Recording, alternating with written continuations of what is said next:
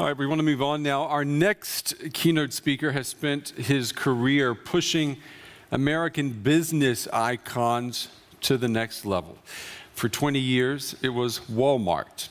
And since 2005, it has been Microsoft. Um, last year, he kicked off the CeBIT Global Conferences with a much anticipated talk about Windows 8, and it generated a lot of buzz around the world. Those words were spoken right here a year ago today, as a matter of fact. Well, today, he is back to give us something else to talk about. And without further ado, it's my pleasure to introduce the COO of Microsoft, Mr. Kevin Turner. Great. Thank you very much. Good to see you. Appreciate it. Well, good morning. It's great to be here. It's great to be able to uh, come back to CeBIT, and I want to thank you all uh, and, the, and the committee for having me here. It's great to be back at what I think is the world's largest IT trade fair. So it's, it's, you know, it's exciting to be able to share uh, a lot of the technology and innovation that we've got to talk about. And uh, a year ago, I talked about a lot of products and innovation that we would have coming to market. This year, I'm talking about a lot of the products and innovation that we have in market, and I'm going to talk to you about some of the big bets that we're going to make for the future, and I think it, that are important as it relates to uh, R&D investment and where we go from there. As I jump into that, I do want to say uh, a couple of things. One, I want to start with thank you. Thank you for your partnership. Thank you for your time. I certainly appreciate uh, the investment from our partners as well as our customers. Um, we do what we do for you, and uh, it wouldn't be possible. So I want to make sure that you know up front how much we appreciate both your time, attention, and partnership uh, to our partners and to our customers. You know, Microsoft uh, embraced the new era, the new era of technology a year ago. This year, we're embracing the fact that as a company, we're changing dramatically. We're changing to a devices and services company. And our primary focus now is delivering devices and services that people and consumers love and that businesses need. And we're working to fulfill that promise of continuous uh, of a continuous cloud service for every person and every business as much as we possibly can. But one of the things that makes our company very, very unique is that we've got a very broad and diverse customer base. We're really the only company, company out there that really has a deep investment with consumers, a deep investment with businesses, and a deep investment with advertisers. And when you think about that, there's certainly great competitors in each of those spaces, but no one really has a deep understanding of all three except Microsoft. And that's something, again, that we take very seriously and one that we're going to continue to invest in in a very, very uh, important way. We think that there's insights across each of those customer segments that are accretive to one another.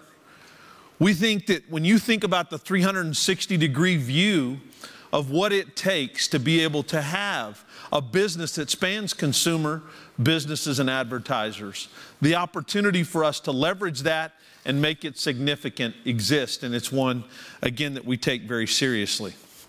Now, I want to talk to you about some mega trends, some mega trends that we see in the industry. So, as we become forward looking and think about where we're headed as a company, where we're headed as a devices and services company, there's some trends that I'm going to touch on today cloud, social, mobility, big data. And I won't spend a lot of time on big data, but I will tell you that we're deeply invested with Windows Server, with SQL Server, with Azure, and, and what we're doing with both Office and Excel, and where we're taking SharePoint in the big data space. But I'm also going to talk to you about what we think is a fifth trend. It's touch, the ability to really start a touch revolution started with the Windows 8 launch and it's one that I'm going to highlight. So when you see that, I'm going to touch on these trends today and, and talk about how we help our customers and our partners harness these trends to make their business even more productive, more efficient, more competitive, and more connected to their customers. Because at the end of the day, this is a connected and digital world that we all live in. And clearly, this is where we think the customer is going. Now, the first one I want to talk about is cloud. When you think about the cloud, You know, there's a big trend that's happened there. I've, we, I've been up talking about the transition of Microsoft to the cloud for a long time. We now have every single important product, solution, and service cloud enabled in the company. And when you think about what's happened there, you think about two, 2013, where 80% of the new apps are going to be delivered and deployed on clouds going forward. You think about 90 plus percent of the CIOs are actively and aggressive, aggressively embracing cloud computing. I just left a cloud partner roundtable here of some of our very best partners that we have in Microsoft. And independently and individually, they talked about the train has left the station for the cloud. And I couldn't agree more. We see great adoption of cloud services, particularly across businesses. Consumers don't even generally realize how much they already have in the cloud and how the, the technology that they've come to depend on is so in cloud enabled. And so when you think about that opportunity, we think it's a huge opportunity for us to continue to drive. And we've got a deep investment with Skype. As you all know, Skype is an important part of our product, solution, and service portfolio. But what I thought might help is that a third of the worldwide phone traffic goes across this particular cloud service that we have. Over 280 million users use Skype more than 100 minutes each and every month, as an example.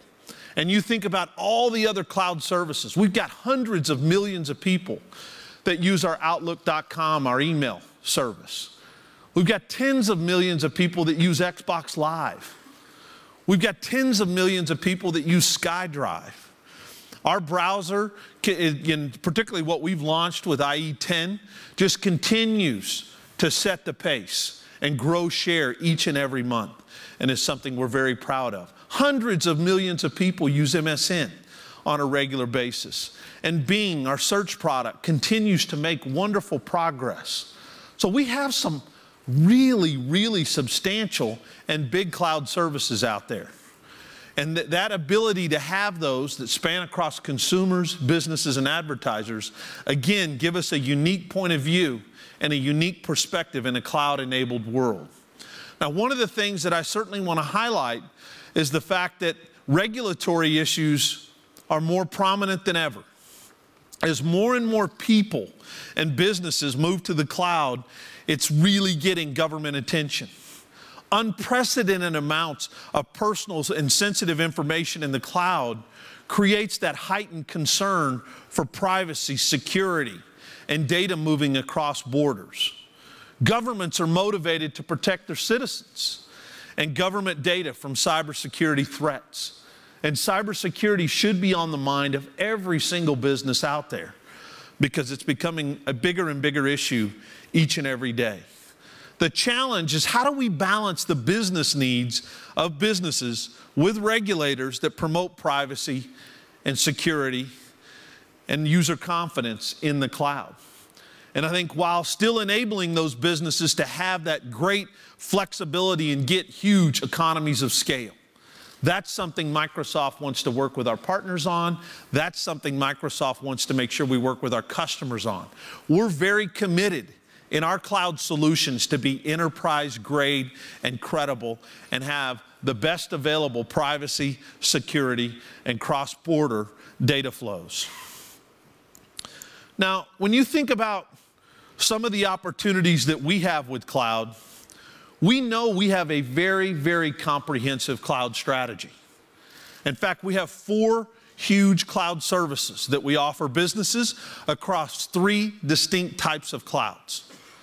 And when you think about those four big services, it's Office 365, it's Windows and SQL Azure, it's Dynamics and CRM Online, and it's Windows Intune all talking from productivity and collaboration across the database, across business applications, and across the infrastructure. And we offer it across a private cloud. If you want to build your own cloud, we certainly will help enable that. In fact, our uh, Hyper-V product and virtualization product is the fastest growing virtualization product out there. And we're winning share every single month And we're also a third the price of the largest competitor in that particular space. So we've got a wonderful opportunity to help you build a private cloud. We're taking a lot of the big services to the public cloud. The ability for some, some sets of users, for some workloads that customers don't want to manage. The ability for us to take those directly into our cloud exists. And so we have an awesome public cloud, and I shared with you a lot of those big services a moment ago. But the number one cloud adoption we see continues to be in the hybrid cloud. The ability to have some bits of data for some sets of users that customers want to manage and control, and the ability for them to have some bits of data for some sets of users that they don't want to manage and run that seamlessly is something we can provide and provide very uniquely. Because you see, if we have Active Directory and System Center completely deployed, the ability for you to do single authentication with a single user ID and navigate your own private cloud and a public cloud exists on the Microsoft platform. So we've got market leading and comprehensive cloud product solutions and services in market today, and it's the fastest growing part of our entire business at Microsoft.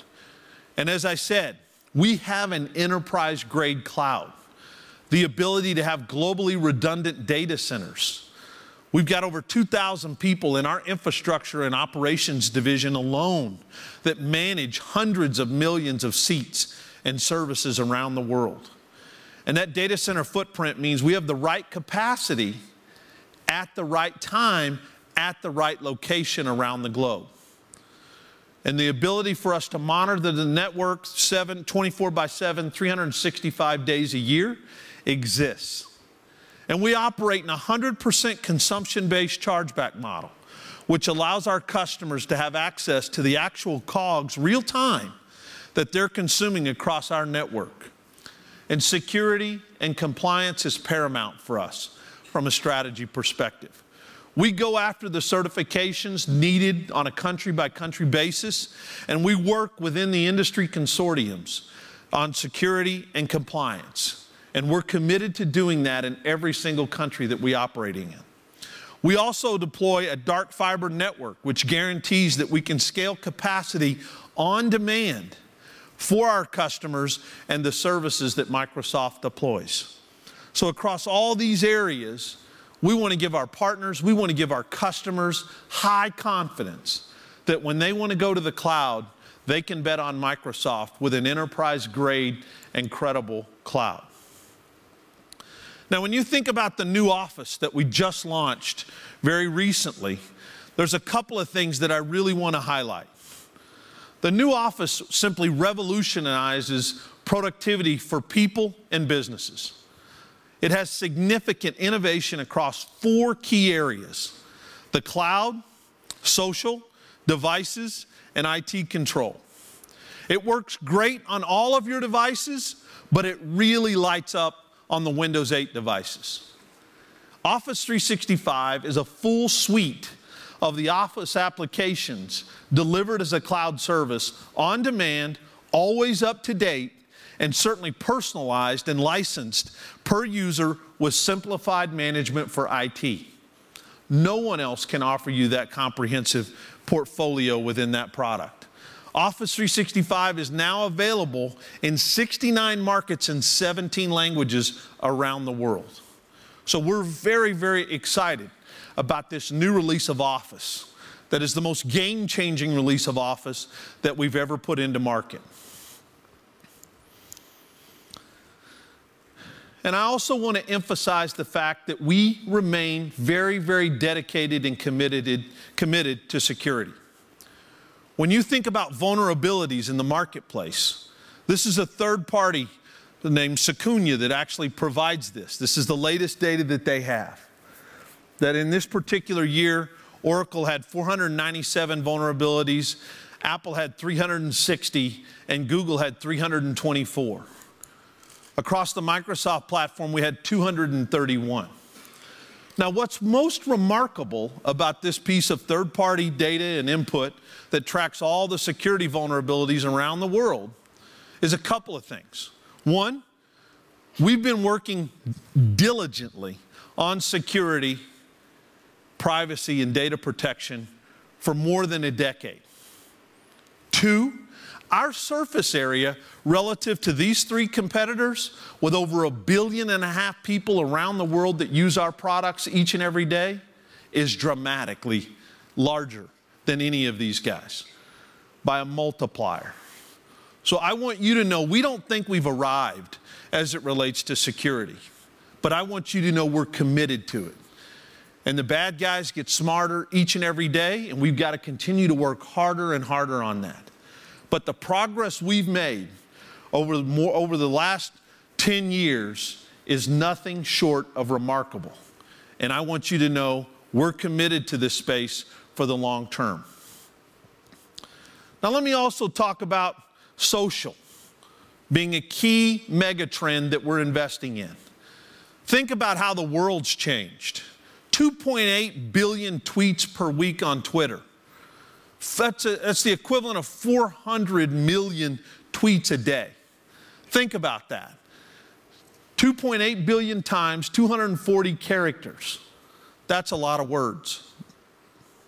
Think about the fact that the consumerization of IT integrated with this particular tool and asset. What is the role of features like groups, feeds, customer comments, follows, likes, hashtags, all of those things in the enterprise? Think about the opportunity we have well, Facebook users, over a billion users strong. It took 38 years for radio to have 100 million users. It took 13 years for television to have 100 million users. It took four years for the internet to have 100 million users. It took about nine months for Facebook to have 100 million users. The speed at which things are happening are very, very dramatic.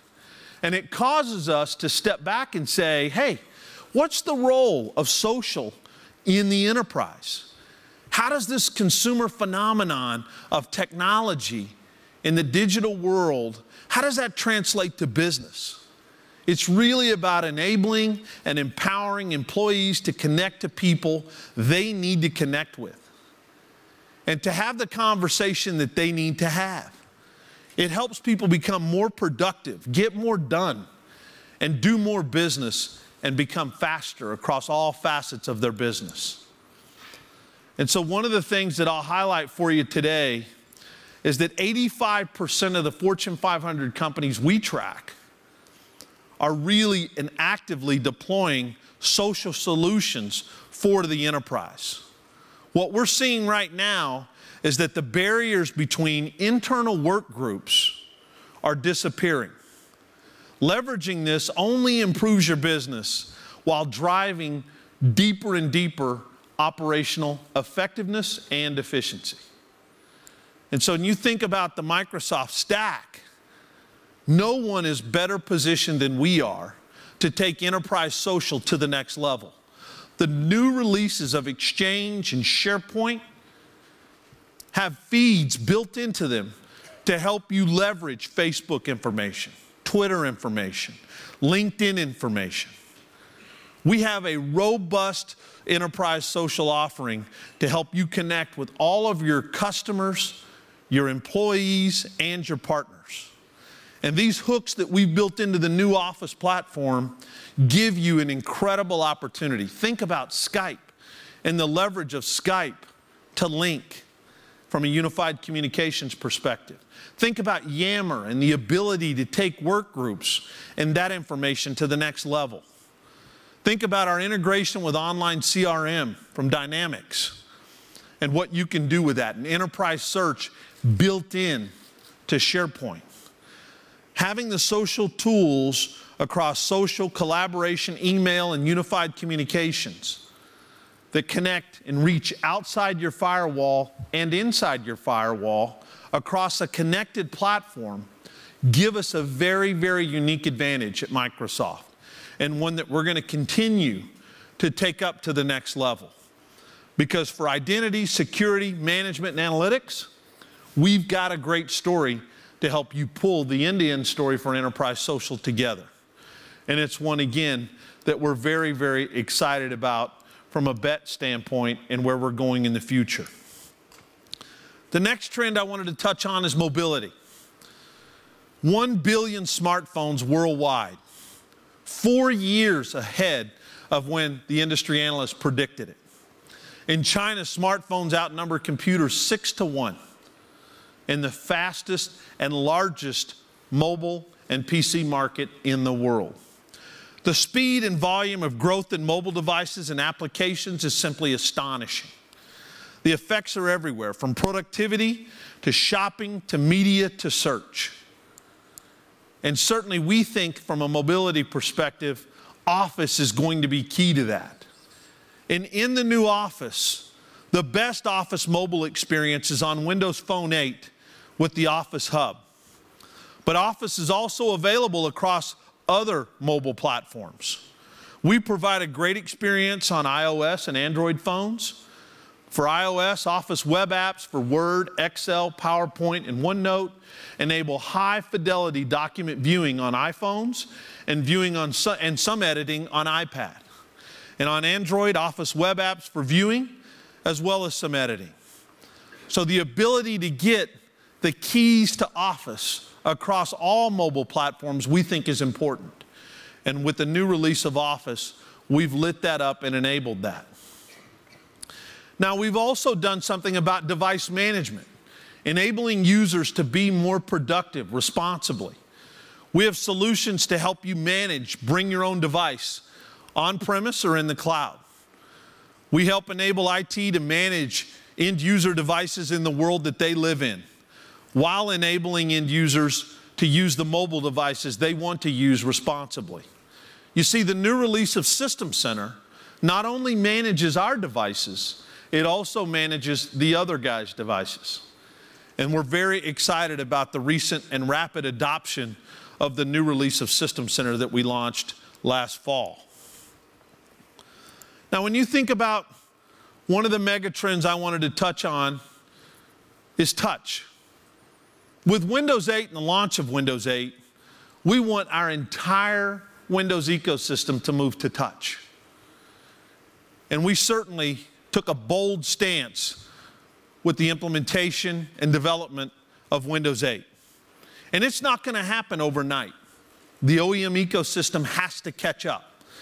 But we've started and launched, and we're officially in the touch revolution.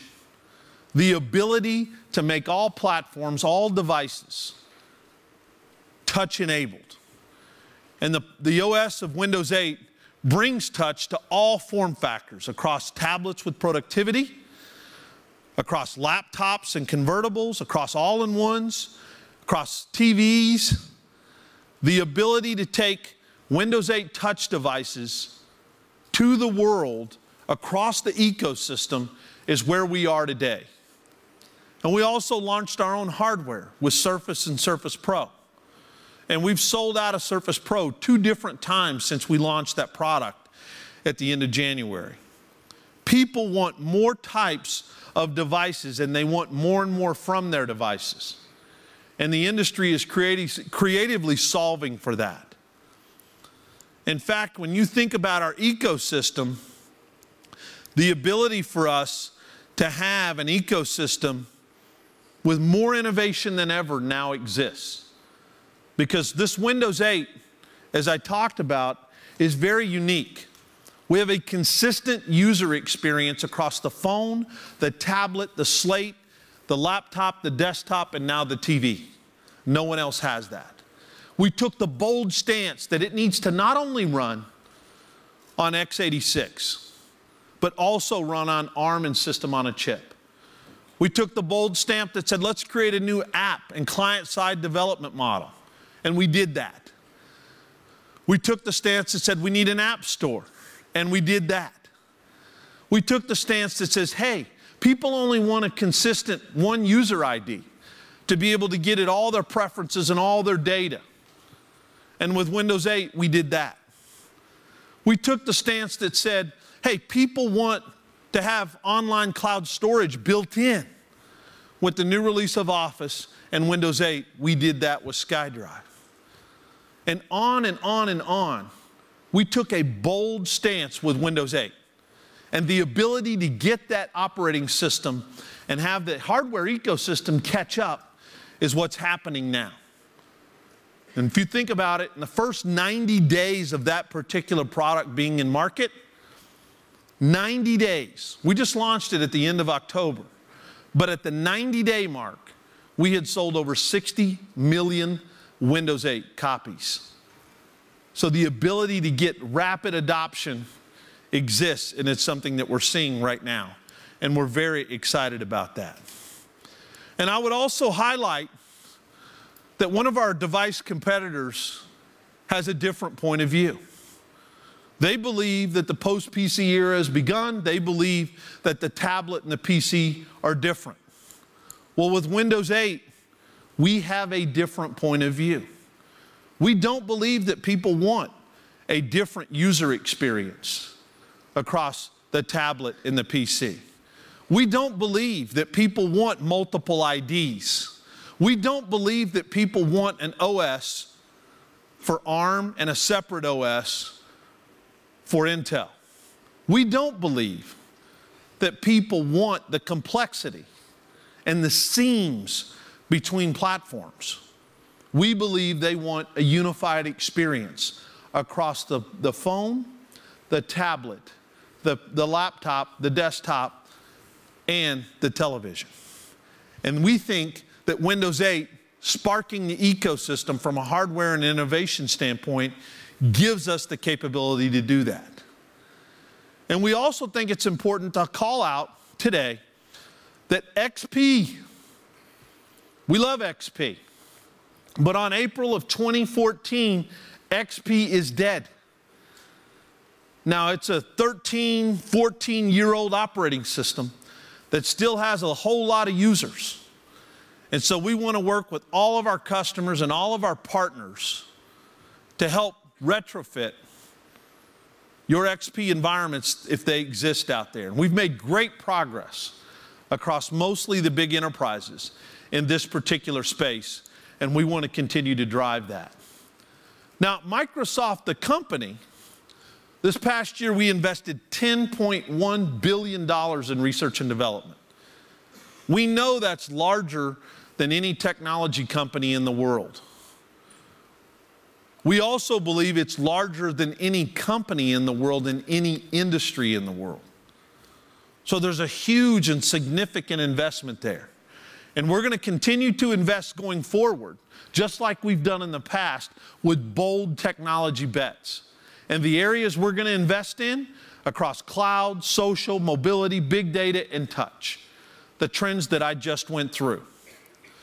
And we're going to continue to amp up what we do from an innovation perspective because Microsoft is an innovation company first. And this money going toward these, what we call megatrends, is what we believe our future is. Now, when you think about the role of the CIO, it's changing dramatically. To date myself ever so slightly, I started in IT when it was data processing. Then it became information systems, and then it became IT. And if you look at where we see that CIO role changing with the cloud, with the magic of software, the ability for a CIO to have strategic business leadership has never been greater than it is today. And we also know that speed is the most important thing that CIOs are being judged against today.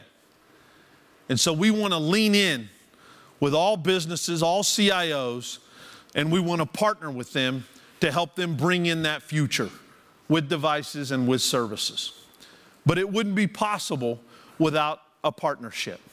And our objective for every customer and every partner is to continue to work very, very hard. And we've done it in the past, and we're going to continue to do it in the, the future to help you create that business value. And we want to earn the right to be your trusted advisor. And with that, I'll conclude saying Microsoft's had an unbelievable year in the past 12 months on innovation. And we think with these megatrends going forward, The future of technology has never been more exciting and it's never been brighter. And we're excited for the privilege and honor to be a part of it. Thank you very much.